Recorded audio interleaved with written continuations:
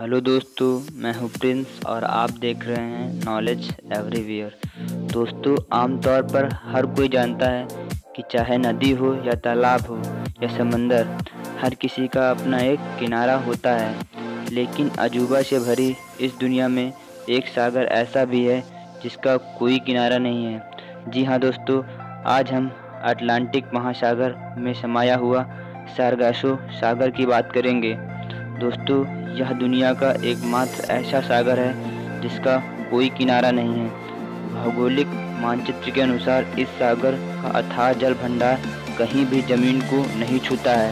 यह सागर उत्तरी अटलांटिक महासागर में 20 डिग्री से 40 डिग्री, उत्तरी अक्षांश और 35 डिग्री से 75 डिग्री पश्चिमी देशांतरों के बीच स्थित शांत एवं स्थिर जल का क्षेत्र है।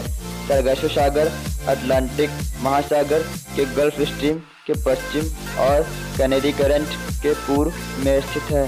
सरगासो सागर का क्षेत्रफल 11,000 वर्ग किलोमीटर है। यहाँ पर अटलांटिक महासागर की सर्वाधिक खारापन और सर्वाधिक वार्षिक तापांतर पाया जाता है। अगर आप वहाँ जाने की सोच रहे हैं तो हम आपको बता दें कि सरगोशो द्वीप पर जाना खतरे से खाली नहीं है। क्योंकि यह सागर रहस्यमय बरमुरा ट्रायंगल के बिल्कुल नज़दीक ही है। दोस्तों बरमुरा ट्रायंगल वह त्रिकोणीय क्षेत्र है जहाँ से जहाज़, हवाई जहाज़ आदि गायब हो जाते हैं और ये किस तरह से लापता हो जाते हैं, यह भी आज रहस्य का विषय बना हुआ है। सैगोशी सागर की एक और खासियत यह है कि यहाँ ज़मीन नहीं होने के बावजूद यहाँ बड़ी मात्रा में सरगोशी नामक घास पाई जाती है।